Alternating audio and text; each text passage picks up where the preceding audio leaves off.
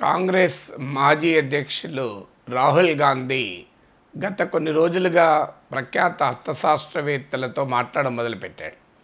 ఇప్పటివరకు రఘురామ్ రాజన్ ఆర్బీఐ మాజీ గవర్నర్తో మాట్లాడాడు. నోబెల్ బహుమతి గ్రహీత అభిజిత్ బెనర్జీతో మాట్లాడాడు. ఈ ఇద్దరి ఈతో కూడా గతం నుంచి కూడా కాంగ్రెస్ పార్టీకి పరిచ కొంత ఇంటరాక్షన్ ఉంది. ఎందుకంటే యూపీఐఎంలోని రఘురామ్ రాజన్ రిజర్వ్ బ్యాంక్ గవర్నర్గా ఉన్నారు. కాంగ్రెస్ పార్టీ రెండు వేల పంతొమ్మిది ఎన్నికల్లో సమయంలో ప్రతిపాదించినటువంటి ఈ న్యాయ్ అంటే కనీస ఆదాయ పథకాన్ని కోసం అప్పుడు కూడా ఈ అభిజిత్ బెనర్జీతో చర్చించామని పేర్కొన్నారు. సో రాహుల్ గాంధీ ఇంకా సిరీస్ బహుశా ఇంకొంతమందితో కూడా మాట్లాడతారేమో. వెంటనే ఇమీడియట్గా భారతీయ జనతా పార్టీ మాత్రం ఇది ఒక తీవ్రంగా కొట్టిపారేసింది ఒక పిఆర్ ఎక్సైజ్గా వ్యాఖ్యానించింది. బీజేపీకి అనుకూలంగా ఉండే అర్ణబ్ గోస్వామి లాంటి వాళ్ళు అసలు దీన్ని ఎడిట్ చేశారు. పెద్ద పెద్ద పూర్తిగా అసలు రాహుల్ గాంధీ సంగతి అంతా బయటపడు అని ఆయన మొదలుపెట్టాడు. అసలు ఎలా చూడాలి దీన్ని? ఒకటి on the face of it అలాంటి ఇంటరాక్షన్ సమాజానికి మంచిది. ఎందుకంటే ఈ టైంలో అబ్జద్ బెనర్జీయే అన్నట్లు ఎలా ఉంటుంది ఏం చేయాలి ఎవరికీ తెలియదు. ఇదంతా కొత్త అనుభవం. ఎందుకంటే ఆధునిక ఆర్థిక వ్యవస్థలో ఈ స్థాయిలో ఇలాంటి పరిస్థితులు మనం ఎప్పుడూ చూడలేదు. ఇది మీరు అభిజిత్ బెనర్జీ అయినా రఘురామ్ రాజన్ అయినా మీకు గీతా గోపీనాథ్ ఇలా ప్రఖ్యాత అర్థశాస్త్రవేత్తలు అందరూ ఏకోన్ముఖంగా చెప్తున్న అంశం. నోబడి నోస్ ఎనీథింగ్ అని. ఎందుకంటే two thousand eight sorry nineteen eighty nineteen twenty మధ్య కాలంలో స్పానిష్ ఫ్లూ వచ్చినప్పుడు ఇలాంటి ఎకానమీ లేదు అప్పుడు. సో అందువల్ల ఎవరికి ఆన్సర్లు తెలియనప్పుడు నాకే అన్ని తెలుసు అని ఎవరు అనుకోకూడదు. అభిజిత్ బెనర్జీ తన ఇంటర్వ్యూలో కూడా చెప్పాడు నో స్ట్రాంగ్ మ్యాన్ అప్రోచ్ నాకే అన్ని తెలుసు అనుకుంటే మునుగుతుంది. అమెరికా బ్రెజిల్ అనుభవాలు ఉన్నాయని. అందువల్ల ఎప్పుడు కూడా అన్ ఒక డైలాగ్ ఒక ఓపెన్ డిస్కషన్ ఒక ఓపెన్ డిబేట్ వల్ల కలెక్టివ్ విజనం ఒక వ్యక్తి వివేకం కన్నా సమిష్టి వివేకము సామూహిక వివేకమే ఇవాళ మానవాళిని రక్షిస్తుంది. సో అందువల్ల ఎకనామిక్ రీస్ట్రక్చరింగ్ ఎలా ఉండాలి ఏం చేయాలనే దానిపైన ఒక విస్తృత చర్చ దేశంలో జరగాలి. వాస్తవంగా ప్రైమ్ మినిస్టర్ ఇలాంటి డిస్కషన్ ఓపెన్ అప్ చేయాలి చీఫ్ మినిస్టర్స్ ఇలాంటి డిస్కషన్ ఓపెన్ అప్ చేయాలి. ఇప్పుడు ప్రైమ్ మినిస్టర్ ఒక నేషనల్ టాస్క్ ఫోర్స్ పెట్టారు. దాని నివేదిక ఏంటో మనకు తెలియదు. ప్రధానమంత్రికి ఎకనామిక్ అడ్వైజరీ కౌన్సిల్ ఉంటుంది. వాళ్ళు బహుశా నివేదిక ఇచ్చుంటారు కానీ ఏం చెప్పారో దేశానికి తెలియదు. అందువల్ల ఈ సమయంలో రాహుల్ గాంధీ దే దేశం ప్రపంచంలోనే ప్రముఖ అర్థశాస్త్రవేత్తలతో ఈ డిస్కషన్ ఓపెన్ అప్ చేయడం ఖచ్చితంగా ఒక మంచి డిబేటు. ఆ మేరకు ఆహ్వానించాల్సిందే. అది రాహుల్ గాంధీ కన్నా కూడా దేశానికి అవసరము. ఈ డైలాగ్ అనేక లెవెల్స్లో జరగాలి. ఒక్క కాంగ్రెస్ పార్టీ నాయకుడే కాదు అన్ని రాజకీయ పార్టీలు నడపాలి. మీడియా కూడా ఈ చర్చను ఇంకా పెద్ద ఎత్తున చేయాలి కొంత మొదలుపెట్టింది. ముఖ్యంగా అధికారంలో ఉన్నవారు ఈ ఓప్ డిబేట్ నడపాలి. మాకే అన్ని తెలుసు మాకు తెలియదు ఏమున్నది అనుకునేటువంటి భావన నుంచి నాయకత్వం బయటపడాలి. ఇది అందువల్ల first on the face of it Rahul Gandhi initiative ఖచ్చితంగా మనం వెల్కమ్ చేయాలి. అయితే ఈ ఇంటర్వ్యూలో ఇది ఓపెన్గా అందరికీ తెలిసేలా లైవ్ డిస్కషన్ లేదు.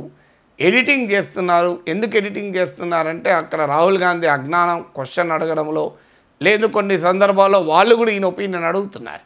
సో అక్కడ ఈయన సంగతి బయటపడుతుంది అనేది అందుకొరకు బయటపడింది అందుకొరకే దాన్ని ఎడిట్ చేసి విడుదల చేస్తున్నారు అనేది బీజేపీ బీజేపీ మిత్రుల ఆరోపణ. అలాంటి ఎడిట్ చేసినప్పుడు దాని ఎసెన్స్ పోయింది అని రఘురామ్ రాజన్ అనలేదు అబ్జత్ బెనర్జీ అనలేదు. ఒకవేళ ఆ ఇంటర్వ్యూ ఎసెన్స్ కనుక పోయి ఉంటే వాళ్ళిద్దరు అభ్యంతరం చెప్పేవారు. అందువల్ల ఇంటర్వ్యూ జరిగింది డిస్కషన్ జరిగింది రాహుల్ గాంధీకి అబ్జత్ బెనర్జీకి. రాహుల్ గాంధీకి రఘురామ్ రాజన్కు. ఆ డిస్కషన్కు అర్ణబ్ గోస్వామి చూడలేదు ఆయన ఏం లేడు అక్కడ. లేదా బీజేపీ నాయకులు ఎవరు లేరు లే సంవిత్ పాత్ర లేరాడా? అందువల్ల అక్కడ ఏం జరిగిందో మనకు తెలియదు ఎడిటింగ్లో ఏం ఎడిట్ చేస్తారో మనకు తెలియదు అందువల్ల అభ్యంతరం ఏమైనా ఉంటే రఘురామ్ రాజన్ అభిజిత్ బెనర్జీలకు ఉండాలి. అర్ణబ్ గోస్వామిలకు సమిత్ పాత్రాలకు ఉండాల్సిన అవసరం లేదు. లేదు ఇప్పుడు ఉదాహరణ నాతో ఎవరైనా ఇంటరాక్షన్ ఉంటుంది. తర్వాత అది లైవ్ అది రికార్డ్ చేసి ఎడిట్ చేసి ఇస్తారనుకోండి. అభ్యంతరం ఎవరు చెప్పాలి? నేను చెప్పాలి. ఆ బాబు నాతో మాట్లాడినప్పుడు ఈ పాయింట్ ఇలా మిస్కోట్ అయింది మీరు కాంటెక్స్ట్ లేకుండా ఎడిట్ చేశారని వాళ్ళ అబ్జెక్షన్స్ లేనంత కాలం మన అభ్యంతరం చెప్పలేం అయినా కూడా రా ఈ ఇంటరాక్షను బహిరంగంగానే ఉండి ఉంటే ఇంకెక్కువగా ఇలాంటి అనుమానాలు కూడా రావు. కానీ మరి బహిరంగంగా చర్చకు వా ఎదుటి వారికి కూడా అంగీకరించాలి కదా. ఇప్పుడు అభిజిత్ బెనర్జీ రఘురామ్ రాజన్లు కూడా ఒప్పుకోవాలి కదా. ఆ డిస్కషన్ ఓపెన్ డిస్కషన్కు మనకు తెలియదు. మరి వాళ్ళు ఒప్పుకున్నా రాహుల్ గాంధీ ఎడిటెడ్ వర్షన్ ఇద్దామని అనుకున్నాడు రికార్డ్ చేసి. లేదు వాళ్ళే అంగీకరించాలో ఈ డేటా తెలియకుండా మనం కామెంట్ చేయలేం. ఇక థర్డ్ ఆస్పెక్ట్ ఏంటంటే రాహుల్ గాంధీ అడిగిన ప్రశ్నలు అడిగిన తీరులో ఒకటి నేను రఘురామ్ రాజన్ది మొత్తం రెండుసార్లు చూశాను. అభిజిత్ బెనర్జీ రెండుసార్లు చూశాను. నాకు కలిగిన అభిప్రాయం ఏంటంటే చాలా తెలివిగా జాగ్రత్తగా ప్రస్తుత ప్రభుత్వాన్ని ప్రశ్నించేటువంటి వీరిగా లేదు ఆ ప్రఖ్యాత అర్థశాస్త్రవేత్తల ద్వారా ఏదో రకంగా ఈ ప్రభుత్వం పైన పరోక్షంగానో ప్రత్యక్షంగానో వ్యాఖ్యానం చేసేలా క్వశ్చన్స్ అడుగుతున్నారు. సో ఇది మోటివేటెడ్ క్వశ్చన్స్ న్యాయంగా అయితే ఇలాంటివి నాన్ పార్టిజాన్ ఉండాలి.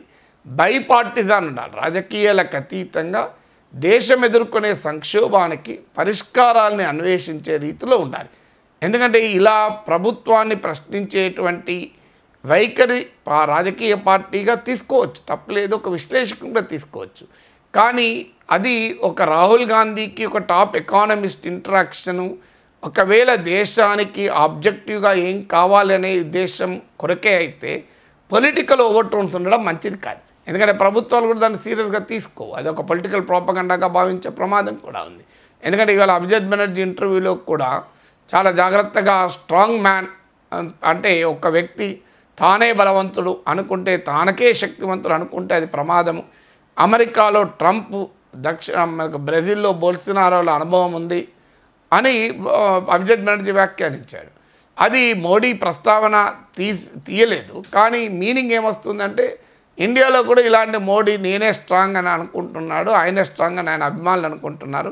ఈ థీరీ పనిచేయదని అభిజిత్ బెనర్జీ అన్నట్లే అవుతుంది. అందువల్ల కాంగ్రెస్ పార్టీ స్పోక్స్ పర్సన్ ఇమీడియట్గా అభిజిత్ బెనర్జీ చేసిన సూచనలను మీరు ఫాలో కావాలి అంటూ ఈ స్ట్రాంగ్ మ్యాన్ థీరీ కూడా రెఫర్ చేశారు. అలాగే రఘురామ్ రాజన్తో జరిగిన ఇంటర్వ్యూలో కూడా పలు సందర్భాల్లో ప్రస్తుత ప్రభుత్వం చేసిన దాన్ని ప్రశ్నించడం అబ్జద్ బెనర్జీ ఇంటర్వ్యూలో కూడా యూపీఏ హయాంలో మేము ఇది మొదలుపెట్టాం. అని దానిపైన ఎదుటి వ్యక్తి అభినందించేలా తీసుకురావడం అనేది మొదలైంది. ఇది నాట్ అడ్వైజబుల్ ఇంటరాక్షన్ అనేది దేశానికి ఏం కావాలని ఉండాలి ఆ ప్రాసెస్లో ఆ అర్థశాస్త్రవేత్తలు వ్యాఖ్యానిస్తే అది వాళ్ళ ఇష్టం. మనం మోడరేట్ చేసి అడిగే వ్యక్తి రాహుల్ గాంధీ వాళ్ళతో అడిగించకూడదు చెప్పించకూడదు. వాళ్ళంతా వాళ్ళే చెప్పారనుకోండి దట్ ఈజ్ లెఫ్ట్ దెమ్ వాళ్ళకి హక్కు ఉంది చెప్పుకుంటారు.